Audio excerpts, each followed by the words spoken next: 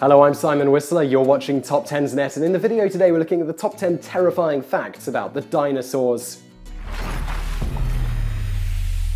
Number 10. The Apatosaurus's tail could break the sound barrier. The Apatosaurus, which lived from about 155 to 159 million years ago, is commonly called a Brontosaurus, even though there is no such thing as a Brontosaurus. The mix up dates all the way back to 1877, when the first Apatosaurus ajax fossil was found by American paleontologist Othniel C. Marsh. The first bones he found were juvenile bones, and when he found adult Apatosaurus bones in 1879, he thought it was a new species and he called it Brontosaurus excelsus. However, after a re examination of the bones in 1903, it was concluded that the Apatosaurus and the Brontosaurus were the same species, and the older name would take precedent. However, by the time the error was discovered, the Brontosaurus was one of the most famous species of dinosaurs, so the incorrect name stuck. The Apatosaurus was so famous because of its amazing size. They were about 70 to 75 feet long, so just imagine a seven story building turned on its side. They weighed close to 20 tons, making them one of the biggest land animals in the entire history of the Earth. One interesting feature they had was their long tail that they used like a bullwhip. According to computer calculations, they could whip their tail so fast that it broke the sound barrier, creating a sonic boom. This would have made a cannon like boom that would have been heard for miles. While it wasn't an effective weapon, it would have been used as a warning or a way to scare potential predators. They also would have stomped their feet on the ground, and if this didn't crush attackers, the tail whip and the stomping would have made a lot of chaotic noise, hopefully scaring off any potential predators. Number 9. Ankylosaurus's club tail could break a T Rex's ankles. Ankylosauruses were herbivores that lived about 122 million years ago and went extinct about 66 million years ago. The Ankylosaurus was often potential prey for big predators like a T Rex, but luckily they developed several different defensive traits. One of them was they had bony armor plates that covered their body, and the second was that they had a powerful clubbed tail. This was one of their most useful weapons. It was made of tightly interlocking vertebrae, and at the end there was a bony ball. With smaller tails, which were most likely found on younger Ankylosauruses, it would have hit its predators with the same amount of force as a bowling ball. However, bigger tails could have struck blows that were somewhere between 364 and 718 megapascals of impact stress, which is powerful enough to break a T Rex's ankle.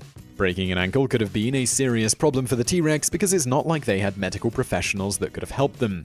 If they could walk after the blow, their mobility could have been severely limited until it healed. If that's the case, hopefully Ankylosaurus meat was a delicacy for the T Rex because they sound like a lot of work to eat.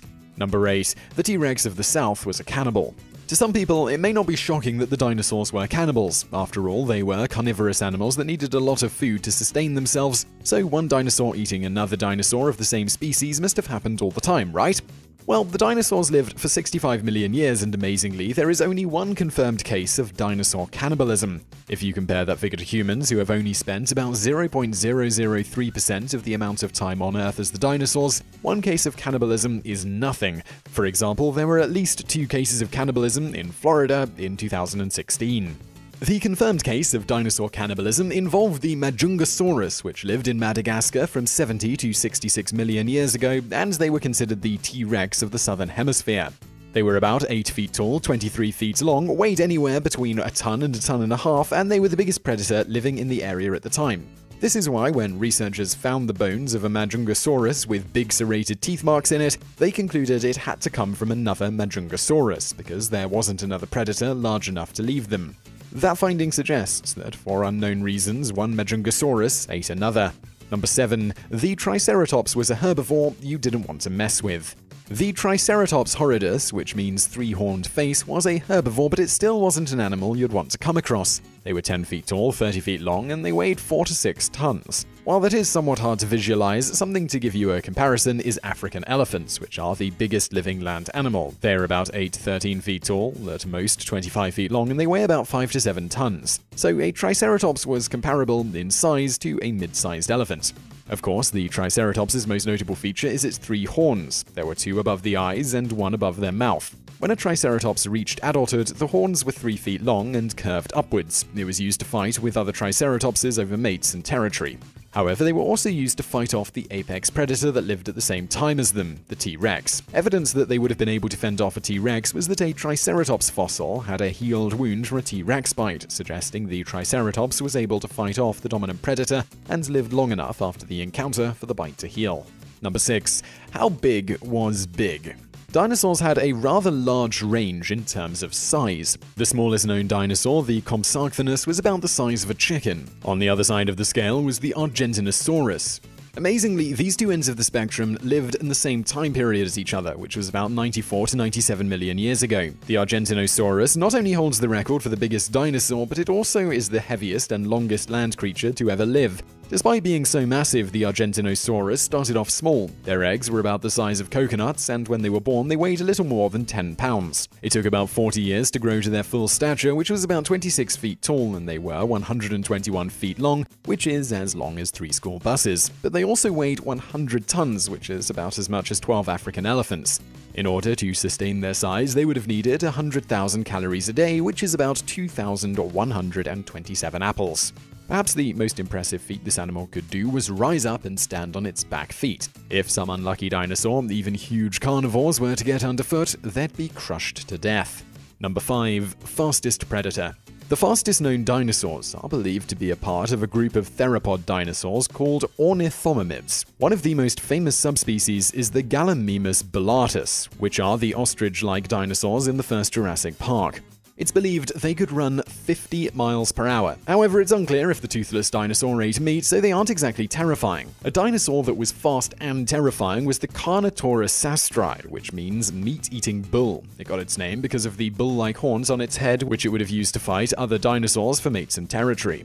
Also, unlike the Gallimimus, the Carnotaurus was a pretty big animal. They were 13 feet tall, nearly 30 feet long, and weighed up to 2 tons. Despite being huge animals, they were incredibly fast thanks to their massive thighs, which were up to 15% of their body weight. According to calculations, they would have been able to reach speeds of 40 miles per hour. It would be like trying to outrun a car that is driving over the speed limit on a city street.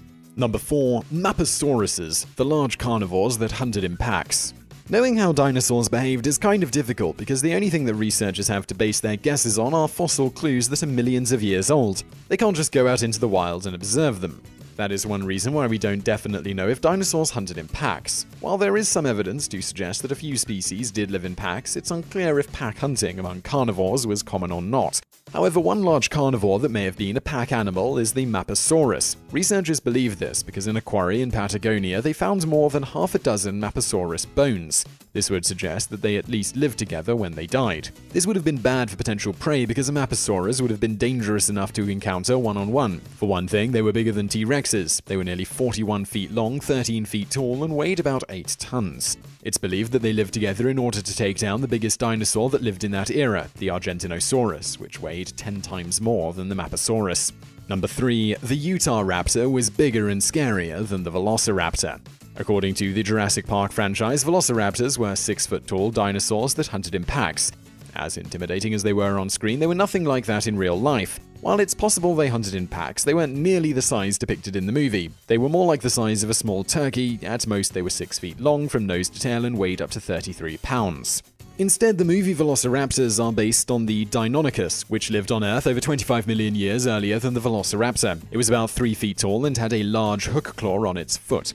What's amazing is that in the same month that the first Jurassic Park movie was released, the description of the biggest raptor ever found, called the Utahraptor, was published, and it was similar in size to Jurassic Park's raptors. The Utahraptor was about 23 feet long and about 6 feet tall, and they weighed 1,100 pounds. They also had toe talons, which were 9.5 inches long. It would be used to tear flesh and hold down prey while they chomped down on it.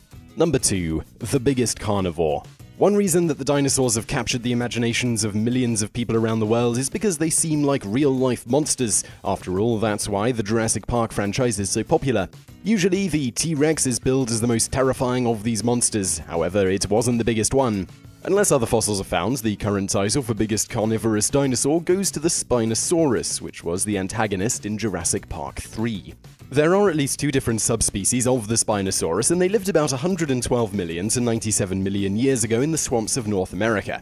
While researchers know that the Spinosaurus was huge, bigger than both the T Rex and the Giganotosaurus, they aren't exactly sure how big it was because there are only incomplete fossils. On the low end, they would have been about 40 feet, but according to some projections, they could have been 59 feet long and weighed 7.7 to 9.9 tons. That's as big as one and a half school buses. They also had massive chests, so it's likely that they spent most of their time in the water, similar to a crocodile. Besides its awesome size, the most notable feature of the Spinosaurus is its bony sail on its back. In fact, that is where the beasts get their name, spine lizard. The sails were 7 feet long, and no one is exactly sure what they were for. The Spinosaurus would have been the top predator because of its size, yet it would have used it to make itself look even bigger. Others suggest that it was for mating. Number 1. Why the T Rex is king of the dinosaurs. The Tyrannosaurus rex lived in the late Cretaceous period about 65 to 70 million years ago in modern western North America, from Alberta to Texas, although there is some speculation that they were an invasive species from Asia.